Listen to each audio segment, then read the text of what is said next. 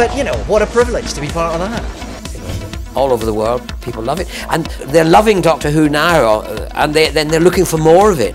When Doctor Who, for instance, came along, you know, I was very happy to create Cybermen and Marshmen and Melkur.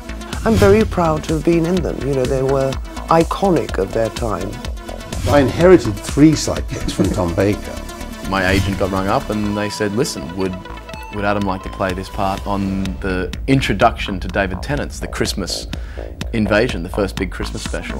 It was probably responsible for, in its way, you know, at least it got the momentum mm. started for, for the TV series to return here. I think the BBC realised.